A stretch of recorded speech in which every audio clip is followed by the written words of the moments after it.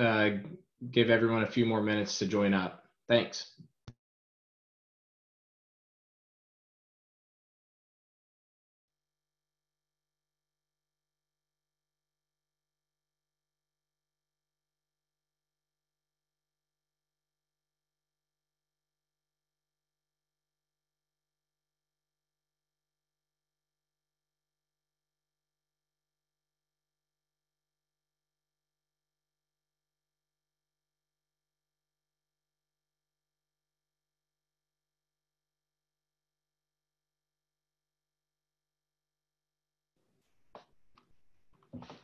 All right. Well, thank you everyone for joining us. Uh, this is the weekly Exit Advisors Town Hall series. Uh, we're in a deep into our third month doing this, so we're really excited to have everyone join and are, are thrilled with the participation that we've had thus far. Um, today, we're going to be featuring Gary Cooper, who's going to kick off the first of his three part series focused around building a service business. Um, if, if you have questions during the presentation, please throw them in the chat. We'll address them during the Q&A session at the end. Uh, before I get into introducing Gary, I want to share a little bit of information about Exit Advisors. We are an M&A advisory firm based out of Houston that focuses on lower middle market businesses. But we are different than most banks and advisory groups in that we do not just simply serve as a transaction partner uh, during your M&A transaction. We work with entrepreneurs and business owners months or even years in advance to develop a tailored strategy for selling their business and to create actionable ways for them to increase the value of their business. Exit Advisors is also highly geared towards education. So that means we like to take a very collaborative approach by working with other service firms and business partners, B2B groups, to create a comprehensive team that works with their clients around those transactions. That also helps create a very powerful network of advisors that will help your service firm evolve and expand its offerings to those clients. Gary's going to probably speak to that here in a few minutes. Um, but on to Gary, our managing partner of Exit Advisors and the president and CEO of Cooper CPA Group. Gary has a very distinguished career and with more than 35 years of public accounting experience. And prior to starting his full service accounting firm and consulting group here in Houston, Gary built and operated a successful multi million dollar accounting practice in Dallas, Texas. Gary's got expertise in every facet of the accounting world around tax planning, compliance, financial reporting, business valuation, and a full range of services offered and geared towards M&A and litigation support. But Gary isn't just a bean counter, he's also a seasoned entrepreneur that can relate to his clients on a different level. He's successfully built multiple practices from the ground up, he holds eight patents. He's an active member of the Entrepreneurs Organization, and he served in that capacity as a board member and also as a mentor. Gary really does understand what it means to be an entrepreneur and a business owner when he works with his clients. So now that we've given him a little introduction, I want to pass the reins over to him so he can kick things off. Go ahead, Gary.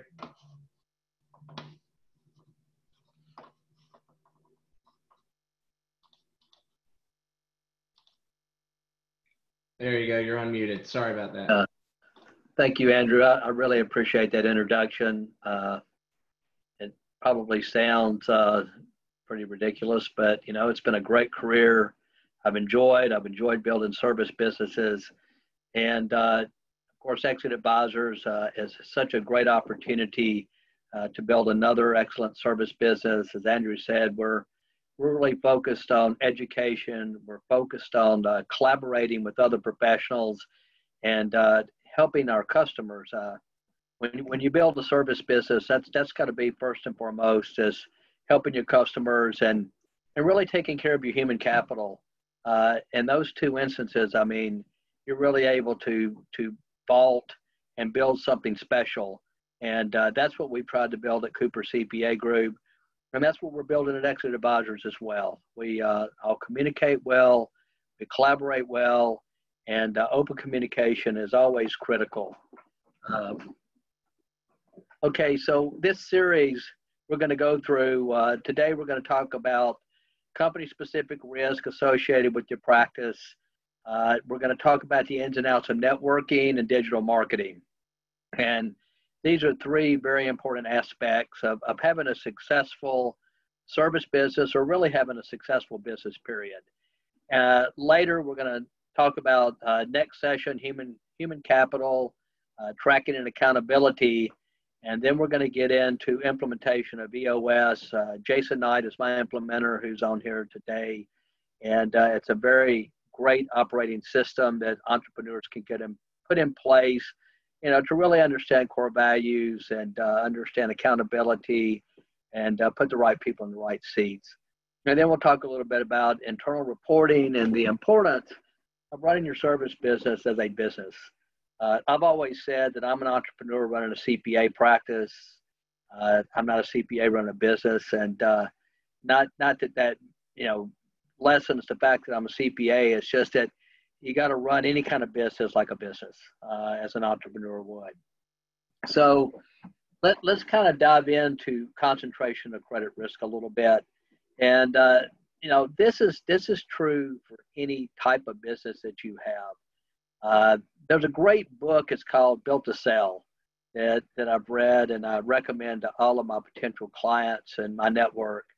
And it's an interesting story. It's a, really about an advertising firm and the individual goes to his mentor and says, "Hey, I want to sell my business." And uh, you know, the mentor looks at everything that he's got, and it says, "Well, your business really isn't worth anything." And he's questioning, "Well, what do you mean? I've got all these great clients. I've got big clients." And you know, the mentor says, "Well, you know, the problem is, is you do all the work, and you don't have uh, really a vision. You don't have repeatable income." And so this book really lays out a plan for an entrepreneur to take a look at this aspect of their business. So, you know, you got to look at uh, concentration of credit risk, obviously. You know, how many material customers do you have? Uh, are you a job shop?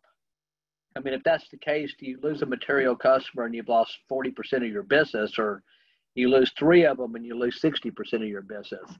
And, you know, obviously a potential purchaser will look at this with a little bit of fear and you're going to be looking at an earnout versus a cash price. So you really get, you know, when you're building the business, you've got to take that into consideration and how you select your customer base uh, and take into consideration, you know, you'd probably rather have a thousand customers than 10.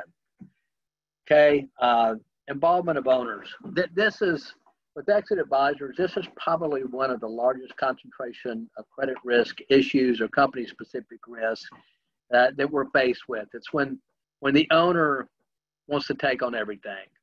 And in the accounting profession, it, we're, we're notorious for that because uh, most accountants are control freaks. And, you know, we want to handle everything. We, we want to be the ones to talk to all of our clients. Uh, we want to review every tax return that goes out of the office uh, and just be involved in everything it has to do with the practice. Well, you know, if, if you're setting your business up to hopefully sell it in the future or transfer ownership, you, you've got to step back from that. You've got to have people, You've got to be able to delegate. Uh, you've got to go and become a leader, a leader of people. And uh, if there's something else somebody else can do, they ought to be doing it. And and so I can encourage you to take a step and look at this. And you know, one thing, I, an exercise I put clients through is is draw out an organizational chart, just a generic one and write down the name of the person who's doing each of these functions. And I think if you see your name popping up throughout this organization chart, you know that you've got an issue with too much involvement in the business and you need to hire people. And as EOS trains you, it's putting the right people in the right seat and then holding them accountable. Okay? Billing rates and market rates. All right, pri- this this really has to do with pricing in any kind of service business. And it's something that we're really focused on at Cooper CPA Group. We, you know, we are we take pride in having uh, 100% realization. So the billing rates that, that we put out to our clients is actually what we bill. And uh, when I say 100% realization, we get our billing rates. And uh, that way, there's complete transparency. The client knows what they're getting. We know what we're going to bill. And then, you know, obviously through market research, if you're starting a service business, it's really, really critical that you do that market research, that, that you look at what kind of pricing is out there. You know, what, how do I, how do I price myself? I mean, now there's, you know, there's a lot of value billing. And and we like to do that. We we like to come in and say it's going to take us a thousand dollars to do your tax return or it's going to take us 2500 to do your tax return. Instead of the client just giving them billing rates and then they get you know the surprise bill at the end of the month which uh, upsets everybody. And so you know looking at this having proper reporting to where you're looking at your production you're looking at your realization uh, you know, you measure the fact, am I getting what I say my billing rates are? Do I need to adjust them? You know, and, and again, that comes along with market research as well. You know, finding out what your competitors are doing. And the problem with the accounting profession is it's all over the board. I mean, you've got people out there that's billing $75 an hour, and you've got somebody with equal experience billing $350 an hour. So uh, it's really difficult. And, and other service industries, I'm sure you have uh, same issues as we have as an accountant. Uh, underemployed. Okay, so you know everybody worries about cost, right? I mean, it's like you know I've got to watch my costs. I got to make sure that you know I've got my margins. But you know, one of the worst things can happen is you're un- underemployed. And so this has happened in a big way to the accounting profession. So uh, what happened to us as a profession as, you know, around the year 2000 is when IT got hot. So what happened is about 50% of the people who would normally major in accounting now majors in IT. So that basically cut the market in half.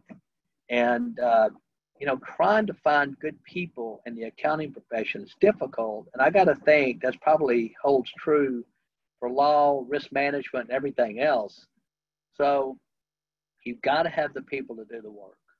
Uh, I like to try to stay one person overemployed. That way, you know, we can go out and we can get new business and we can pull new clients in and we can make sure that we're properly communicating and we're taking care of them. Because realistically, probably 75% of all of my new business is because the client says the CPA is not returning the phone call or not returning emails. And so, really, guys, we're in the service business, right? When you're in the service business, you're supposed to be providing a superior service. And so, with that, having the proper level of human capital and being able to reach out and communicate to your customers is just absolutely critical. Okay. Uh, okay. Inadequate financial records uh, and it's really interesting. I've, I've tried to buy several CPA firms and I've gone in to do uh, my due diligence, no different than what exit advisors would do, uh, going in, looking at a company. And one of the greatest weaknesses I see in the accounting profession, and this is probably true with other service companies, is really inadequate financial records. And that, that goes along with, for instance, in Cooper CPA Group, we have a daily dashboard um, we have totally up to date QuickBooks. Uh, we use a system called Practice for our billings.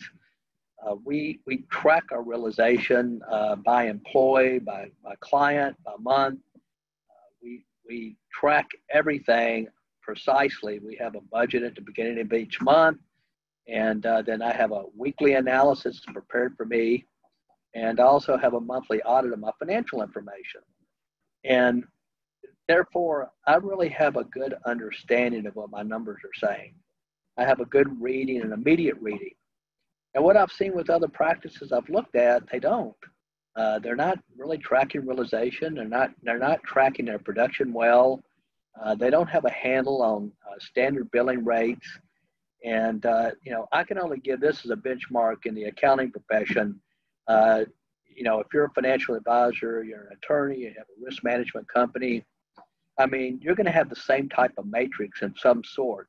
And it's really important for me to have that information. And, and I'm very much a visionary. I'm not as much an integrator as a lot of CPAs are. Uh, but having that reading, those numbers talk to me. I can I can really pivot and uh, make decisions based on that internal financial information.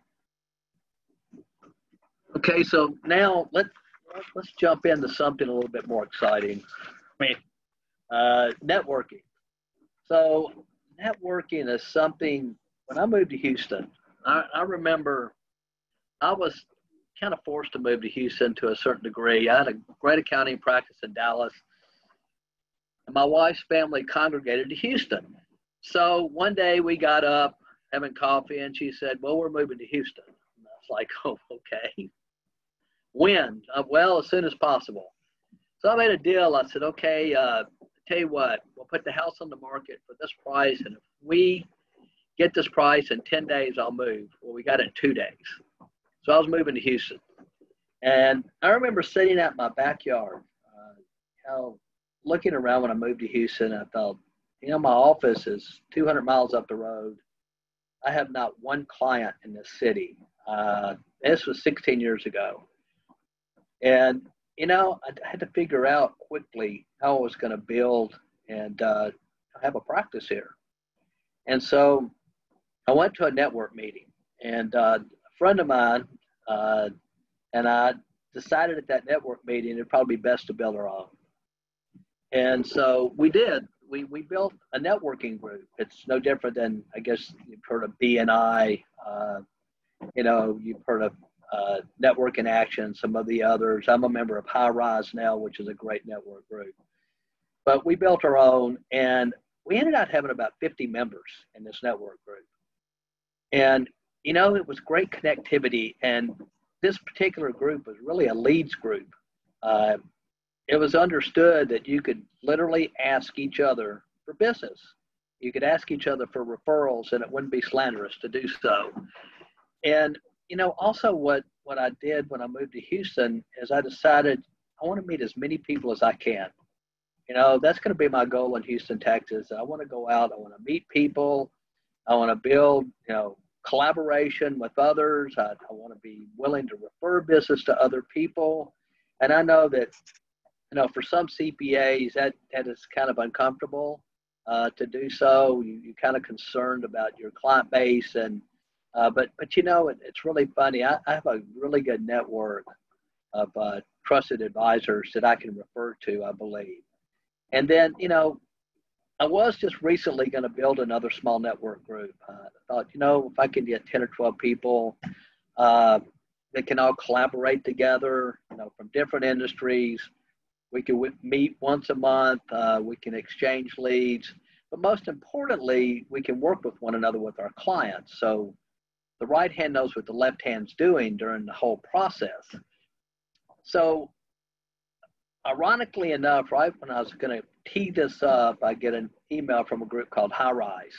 I guess I'm throwing a, a bone to High Rise right now. It's a network group, and and it's all business owners and higher level top executives. And uh, I think it's going to be a good group. Uh, we had our first uh, virtual meeting last week. It seems like there's good members in it.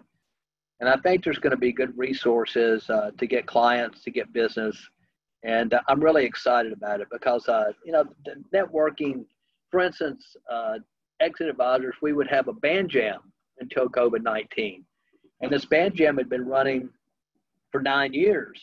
And we'd have 100 to 200 people show up. And these were all business owners, musicians. Uh, my office has a, has a uh, full music studio in it. So we'd have uh, three different setups, venues for music. And of course, we'd serve beer and wine and typically star pizza. But you know, the networking was the real thrust of it. I mean, meeting people, just getting to know somebody, you know, in a different environment, uh, you know, outside of the stuffy walls of your office. And uh, I, I just highly encourage you, you know, to find a differentiator, find something that you can do, find something that you're really interested in, and and build a networking opportunity around that. I, I think it is something really, really important. Uh, you know, other groups that I'm involved in, I'm involved in entrepreneurs organization. Well, it's not a networking group. I mean, it's really an education group, and it's a group of entrepreneurs. Uh, to qualify, you, you got to have a business that's over a million dollars in revenues. But you get the network with people who have businesses who are like-minded, and you know, referrals do come from that. I mean, it, it, you, you don't ask for referrals; it's against the rules. But people get to know one another, and of course, you become trusted advisors to some of these people, and you get business from it. And and that's a that's a great group to be involved with. Uh, and then the trusted advisors. Uh, you know, this is something that, that I've really focused on since I've been in Houston. It's something anybody in the service business I feel is important. So, CPAs, bankers, attorneys, financial advisor, risk management, HR, IT, uh, you know, finding people in all of these areas that you can trust and you can send business to, and they can do the same for you. And, uh, you know, really what comes of that is you really get warm leads. You, you get also, you have somebody watching your back. So it makes you a little bit more sticky. So let, let's say that, you know, you have a client, you bring the client to the attorney, you bring the client to the banker, and let's just play pretend this client gets upset with you for some reason. Well, you know something, the banker, the attorney may say, hey, you know, Gary's a good guy. Gary, you know, everybody's capable of making a mistake every once in a while. And they may actually be the people who keep your client in your database. So, you know, this, and having these trusted advisors is really important. And this is something else that Exit Advisors is doing. And what, what we've done is we've gone out and we find people to collaborate with.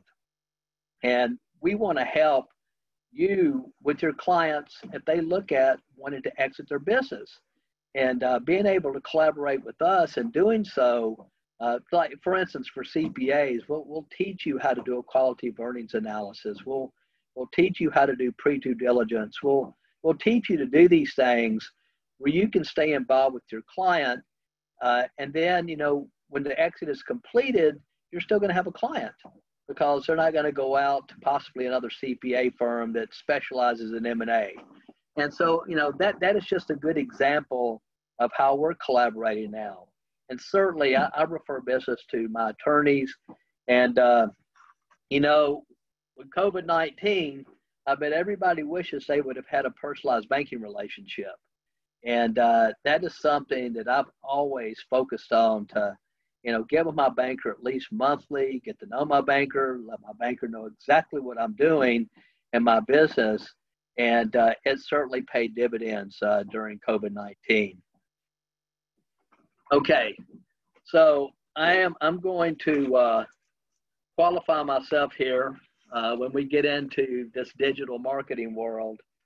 Uh, I'm not an expert, and I'll, I'll give you the warning you typically see when there somebody's doing something really dangerous on TV and they say, have an expert to do this, don't try it yourself.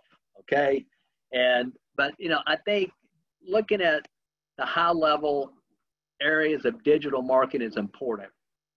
Uh, I'll just give you an example.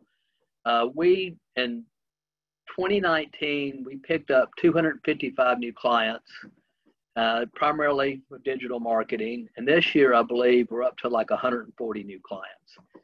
And so, you know, the new normal is digital marketing. It's something that really works, it's really effective. It's a way to put yourself out there to a large group of people, and you can also target. So, uh, we're going to talk about a little bit of this and, and how to go about doing it. Uh, I'm going to stumble through some notes and uh, just try to give you some real world experiences as well. So I remember uh, meeting uh, a gentleman that, through Al Danto, Tyler Gillespie.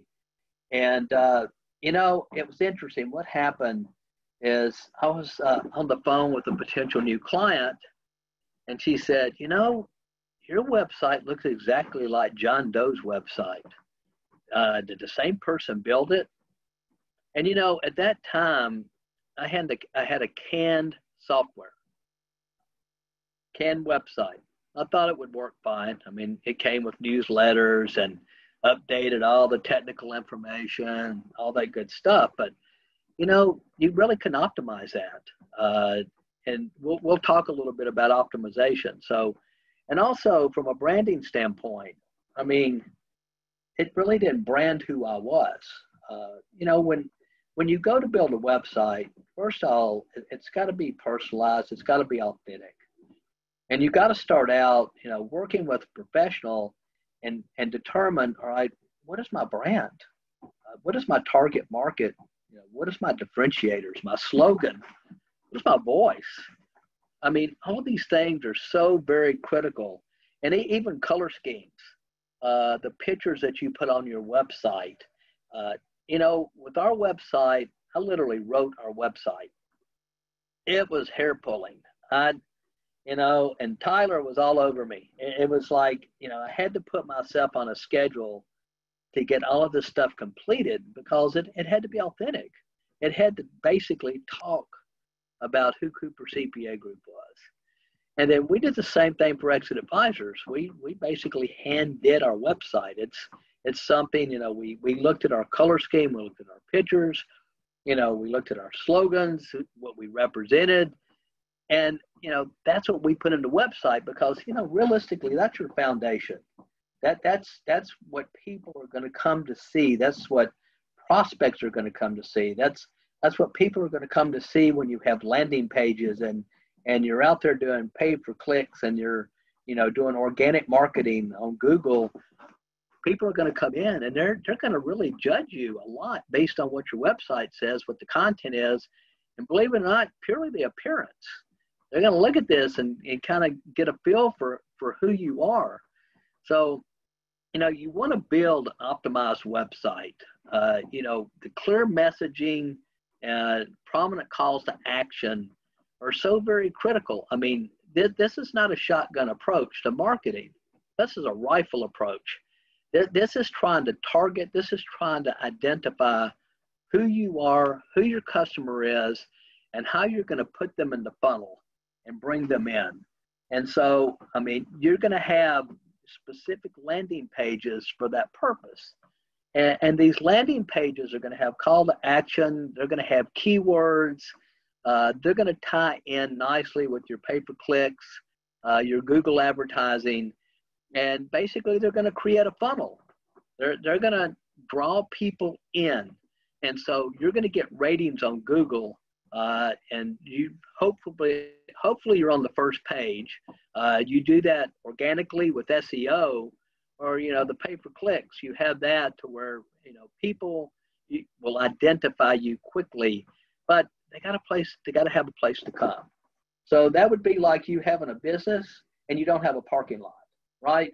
So people show up to your place of business and it's just one big building. There's no parking lot, so they can't get in. And what the landing page does is it direct directs them in to who you are and what kind of information they're specifically looking for. And then it gives them an opportunity, possibly, you know, to, fill out a page, uh, you know, then to reach out to you for the specific service that you're offering. Uh, so, setting up these landing pages, for instance, right now, we've got a couple of landing pages that we're working on at Cooper CPA Group. We we have one that, that's dealing with, uh, you know, if your CPA is not calling you back, right? So, like I said earlier, about 75 percent of our new business is where CPAs aren't returning phone calls or, you know, not being attentive to their clients. So we have a landing page on that. Uh, we also have a landing page on restructures.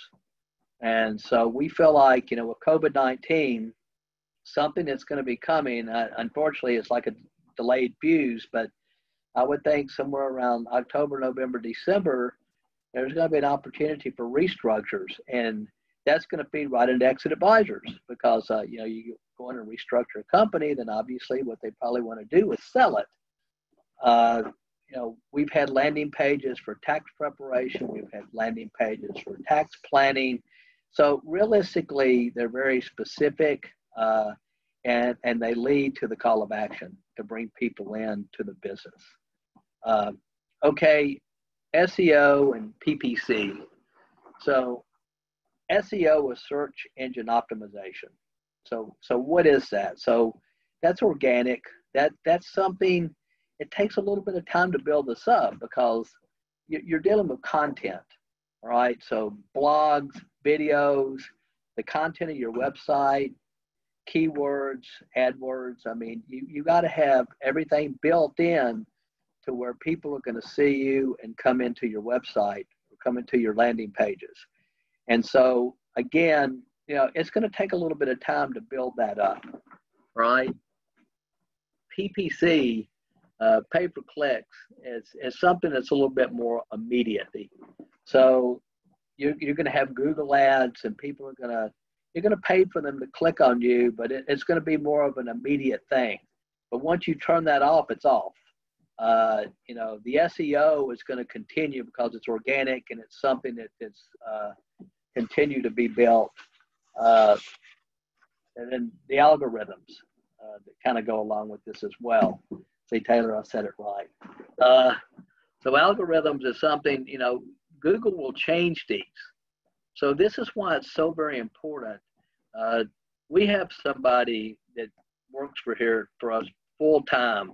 Taylor is awesome. She she uh, she's watching Google all the time. She's making sure when they t- change her algorithms that that we're able to adjust and we're able to pivot and uh, kind of follow that. And then you know the pay per clicks. I mean, we we are running Google ads all the time uh, with the landing pages and with the purpose and the call of action and with the keywords. So all of this comes into play uh, when you're setting up your digital marketing. And realistically, just to add to that, it's best to have both uh, going at the same time.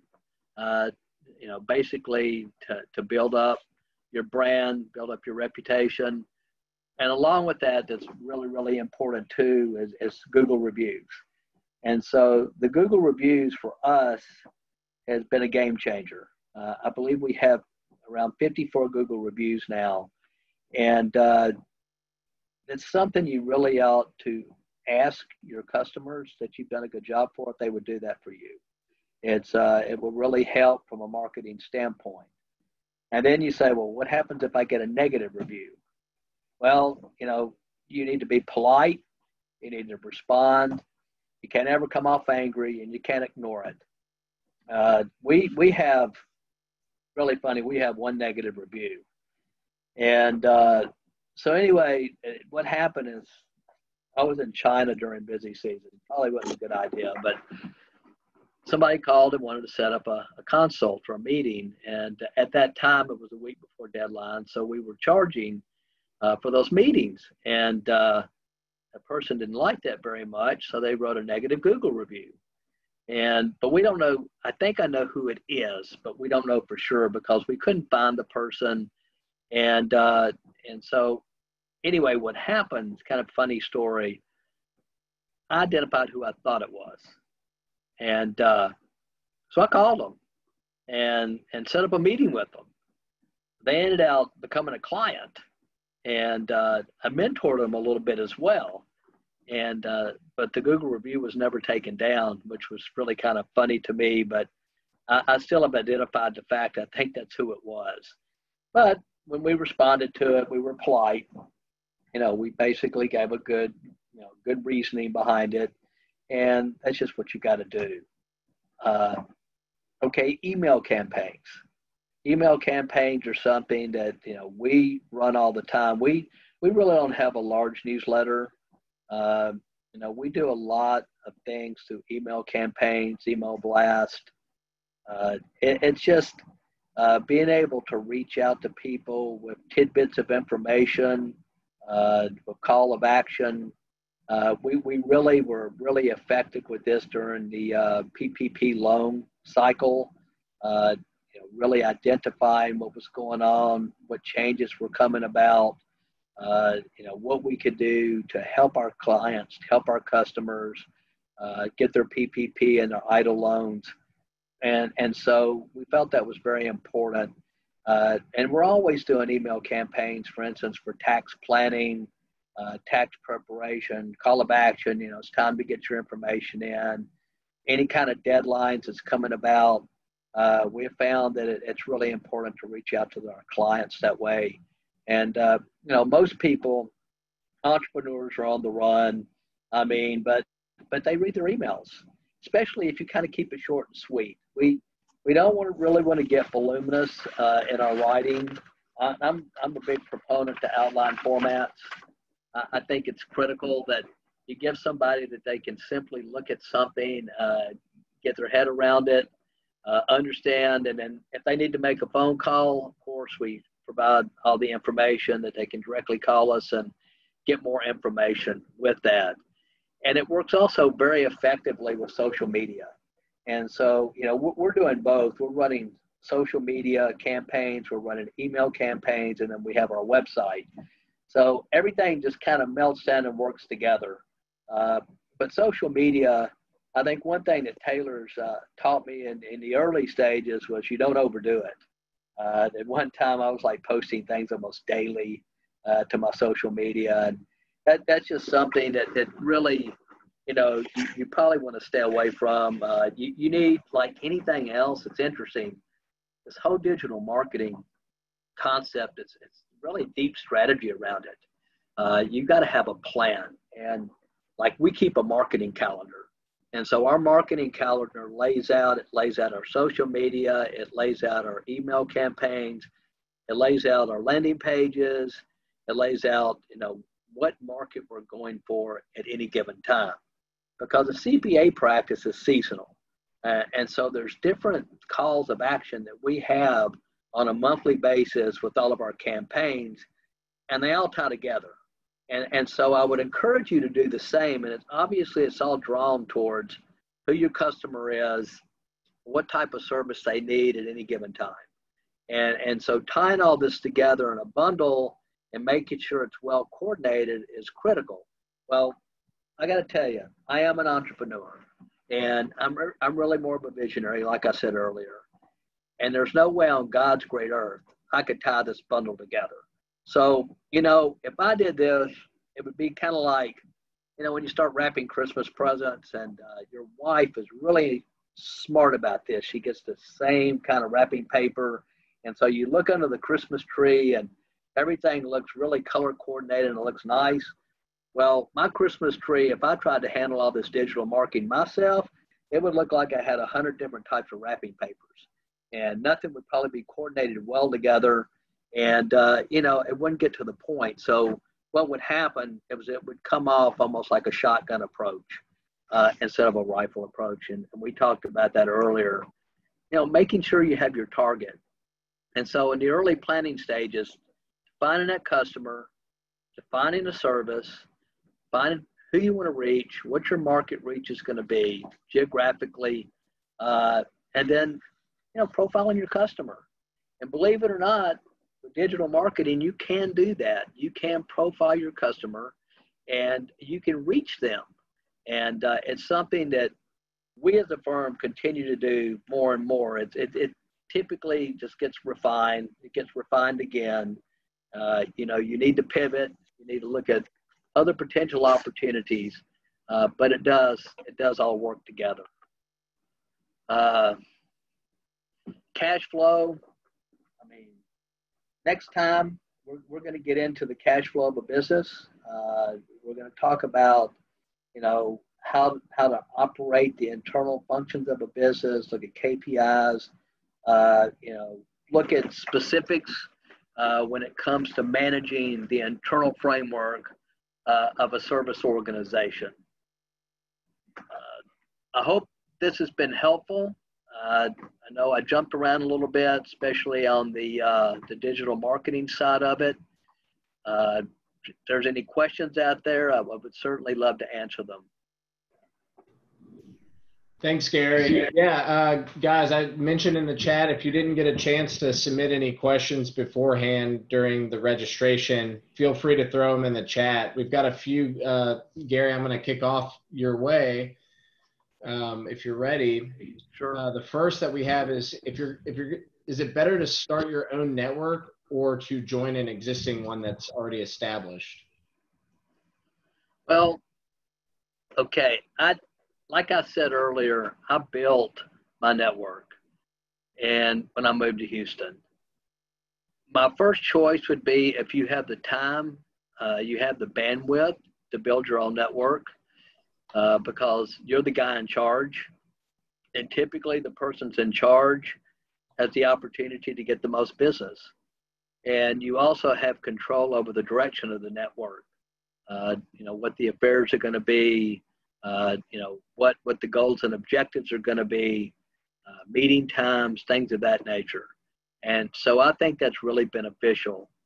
And, you know, an easy way to start a network is all you have to do is pick two or three people. Right, have lunch with them and basically have a roadmap of all the different job functions or types of people you want in your network. And four people can do more than one. And so, you know, the four people have lunch, lay the list out, let everybody go out and find about three people. And then it starts building that way. Then all of a sudden, your next meeting, you've got 12 people. And the 12 people, it's basically, hey, these are the job functions that we're looking for. This is the type of people we want in the network.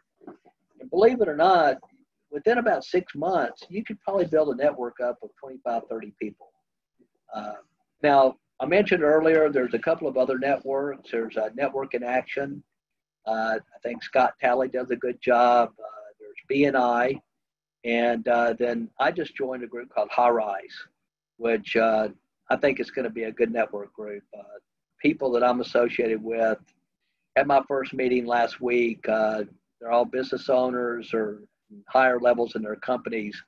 And so I think there's going to be some great opportunity there. Thank you. Thank you. Um, looks like Dave actually just submitted a question. What tools do you recommend using to profile your potential customers?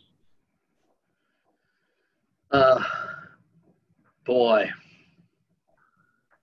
from a standpoint of the digital marketing, uh, you know, I, I think what we try to do here is we identify, for instance, we like to do business with entrepreneurs. That, that's that that is our profile customer. Uh, Jason Knight's on here, and he he helps with EOS, and you know we identified who who was our customer, uh, how do we profile this customer? And I went through our client base as well, and I looked at the size of the businesses and really tried to ident- identify who our customer already was. And uh, and so then what we do from a standpoint, Taylor will take that, and then our landing pages and our, our pay for clicks and everything really is surrounded around going after small business owners. Now we do get other types of, of customers uh, but but that's really how we profiled, and I guess we we've done it almost the old-fashioned way, uh, instead of using you know any kind of software or any kind of apps or anything like that. Yeah, and I can touch on that a little bit too, Dave. Um, as far as profiling internally, you know, I think that that's going to be, you know, up to the business owner figuring out who their audience is. But as far as targeting them, um, you know, for example, we use a lot on LinkedIn. There's also Facebook and other platforms, but a lot of these paid uh, target searches and ad and advertising that you can conduct will help you narrow down those demographics. So it'll allow you to do age group, company size, uh, geographic area, industry, subsectors within an industry. Um, there's a lot of helpful tools already embedded in these platforms. So if you haven't actually kicked off those marketing, I think you'll be pleased to see what there's, you know, what's available out there.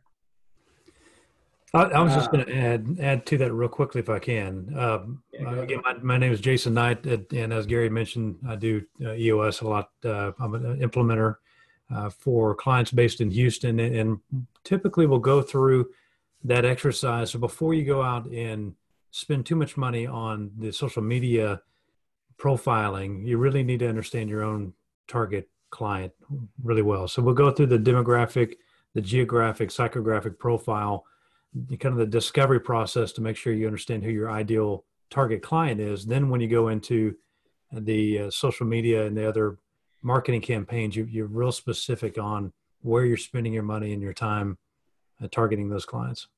Yeah, it can get really expensive very quickly. Yeah. You need to be able to have control over that. Um, a thing that I always took away from Gary, you know, he's done a very successful job marketing um, online and, and digitally. It's being able to also control the faucet and turning it on and off, um, you know, as you do your campaign. So, uh, I'll, add, I'll add to that a little bit, Andrew. I, I, tell, I tell you what the hardest, one of the most difficult things for an entrepreneur to do uh, when they're profiling is say no. Okay, so, and I have the hardest time with this in the world is I have a hard time saying no uh, to the new client meetings that I don't think really meet our profile. And I've understood that a lot of really successful businesses, they say when you truly get successful is when you learn to say no. And you only take that profile customer instead of taking everything. So I agree. Gary, real quick, while we're kind of on this topic, um, we had two questions around SEO and, and web development. Um, for example, earlier you mentioned canned websites. Um, that's actually new to me as well. Would you recommend using like an industry industry specific canned website that already has all the bells and whistles built in, or how you know would you take a different approach? No, I would not recommend that. Uh, that's exactly what we had previous to developing our own website. And, you know, that's where the person called and said, Hey, Gary, your website looks just like John's. I mean, and, and plus from, from an SEO standpoint, and keywords and authenticity, uh, you know, really your website should be you. Uh, I mean, it should breathe. It should have breath. It, it, it should be something that when people visit your website, they know you before they show up to your office. And really, the only way that you're going to be able to develop that is do it yourself and have the right people around you. Obviously, you know, you can put stuff together. You need to have professional writers. You need to have people who who take what you write and and make it sound grammatically better, all right, and more active sentences. But it's something I believe that should be built from the handle. It's not something that you should go out and buy and put in place. Uh, I know that I know that Taylor like you know putting keywords and things like that and making sure those keywords tie into the landing pages, tie into the Google advertising, everything. I don't think you can do that with a canned site. And that that actually ties into the next question. Um, uh, you know, you you mentioned using particular verbiage and wording. Um, that's really key with search engine optimization. So, would you hire an external SEO company to do that, or would you try to do it in house? What's your strategy there? Well, I think either would work. I think it just depends uh, who you are and what you want. I think it's really interesting how mine evolved. I mean, mine evolved by hiring a consultant, okay, and the consultant helped me develop the website. And then I was blessed with finding Taylor. And Taylor, I think, knew more than all of us. Uh, I still do. And and so we're able to really maneuver here. We're, we're able to, you know, adjust and pivot, uh, you know, especially with things like COVID 19 all of a sudden hits and you have somebody in house and you can really make things happen quickly. Uh, you know, even with Exit Advisors, the way that, you know, we've kind of pivoted, we're really going to put a landing page out on merger acquisitions and, and, uh, you know, go back into business valuation, put some stuff out there. I think you can be a little bit more fluid uh, if you have somebody in house. However, there's some great companies out there that do SEO and it's something that an entrepreneur may not want in-house they, they, they probably would rather outsource it and these guys are very effective. But it's like anything else when you're hiring a professional you need to advertise you need to find out who they are you need to get recommendations and you need to look at their work uh, you know and see if it fits your grid. Um, yeah exactly. Well well, thank you for that. Uh, the last question that I have here is uh, kind of around the, the advisors that you work with. What trusted advisors are important to collaborate with, and how often would you talk or meet with them? Well, I mean, for me, uh, I think a banker. Okay, so a banker is is somebody who I typically meet with my banker. I try to meet with them monthly. Uh, I've come to grips with not getting referrals from my banker. Uh, you know, I, I just I don't worry about that in that capacity. Uh, my banker takes care of me. They, they take care of if I need funding, if I want to go buy another practice, uh, you know, lines of credit, things of that nature. And especially with COVID 19, I mean, I was first in line for the PPP, and uh, I just think it's critical. Plus, my banker gives me good insight, you know, from a standpoint of where things are headed, especially in the banking world, where lending's headed, and also have a great referral source for my clients. And so I think that's equally important that I trust my banker and I think he does good work. And so I can send my customers to him and they can take care, he can take care of their financing needs and their banking. Uh, attorney, uh, I'd probably talk to my attorney weekly and uh, I find it very valuable. I think, you know, the insight that my attorney has is different than the insight of an accountant. Plus, you know, we all have issues uh, when we're running businesses, uh, contractual agreements with collections, with all of all those things, all the above, and uh, having the attorney, you know, available to, especially if you have a good relationship, they'll take your call, and uh, you can get quick answers. And once again, referring business to this attorney, I feel totally, uh, you know, that, that he's going to take care of my clients and take care of my customers and do a good job for them. And I have two or three attorneys that I refer to though. Uh, IT, uh, we, we all need a good IT consultant now if we have a small business. Uh, to be honest with you, I wouldn't want an in-house IT person. It kind of reminds me of the movie Jurassic Park. Uh, I just I wouldn't want somebody to have that much control over my systems and possibly be able to put a bomb in them. Uh, risk management, insurance. Uh, I, th- I, find that valuable to have somebody you know to refer to that can take care of my customers or medical insurance, uh, 401k plans, and such. Uh, I think is very, very important. Uh, investment banker.